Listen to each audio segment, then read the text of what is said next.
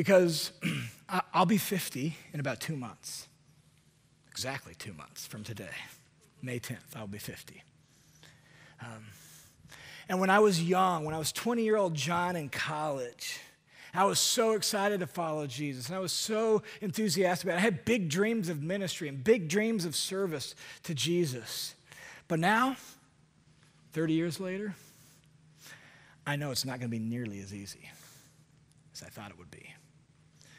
And if present me could go back to 20 year old past me, I would put my, my hand on my shoulder and I would say, John, it's going to be a whole lot harder than you think.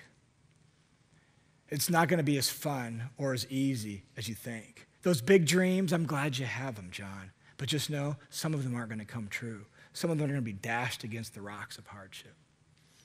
It's not going to be as easy as you think.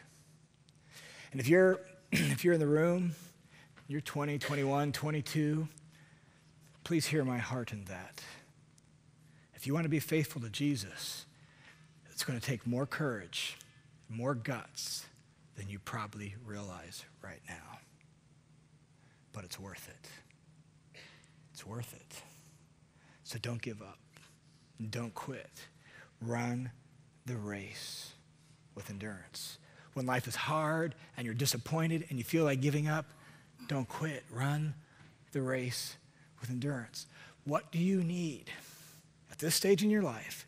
What do you need to lay aside to be prepared to actually say, I'm going to make it to the finish line, even if I get there limping across.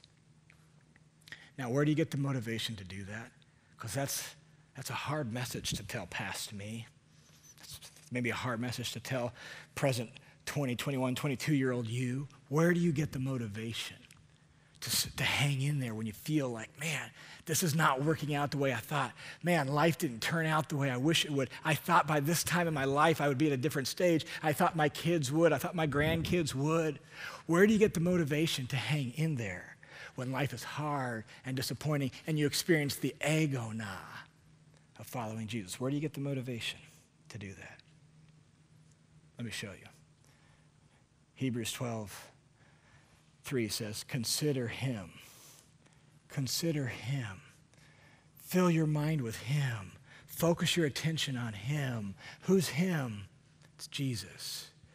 Consider Him who has endured such hostility by sinners against Himself so that you will not grow weary and lose heart. Where do you get the motivation?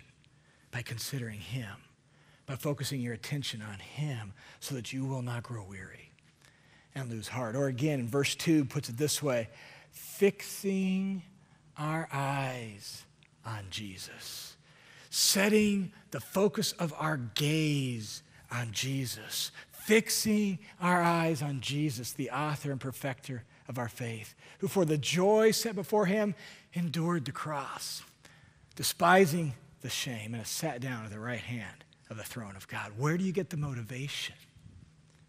You get the motivation by fixing your gaze on Jesus.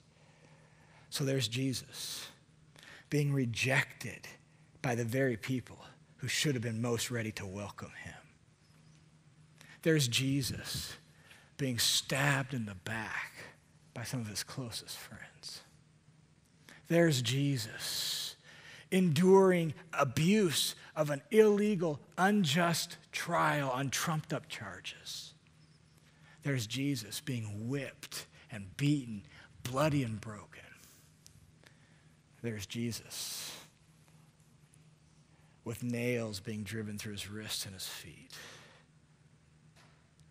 for you and for me because he literally loved you to death.